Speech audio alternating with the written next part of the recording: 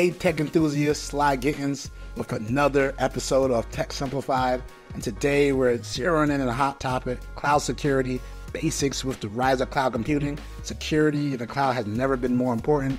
Let's break it down in just one minute. Cloud security is all about protecting your data online from theft, leakage, and deletion.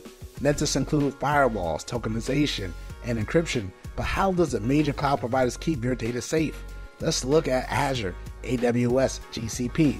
Microsoft Azure protects your data through a variety of mechanisms. Azure Security Center offers unified security management and advanced threat protection across hybrid cloud workloads. Plus, with Azure multi factor authentication, your identity and access management are rock solid over at Amazon Web Services or AWS, security is a priority. Number one, AWS Shield provides DDoS protection, while AWS Identity and Access Management ensures only authorized users can access your resources. Your data encryption capabilities help keep your files at rest secure. And don't forget, Google Cloud Platform, GCP, they offer context aware access controls, ensuring that the right people access the right information under the right conditions.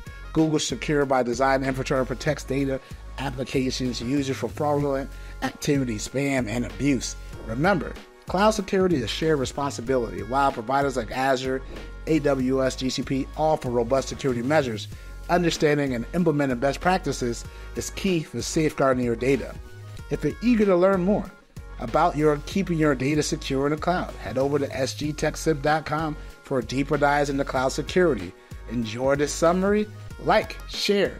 For more tech made simple, got a question, want to suggest a topic, drop me, drop it below in the contacts. Until next time, stay secure, keep simplifying. Sly Gittens is out. Peace.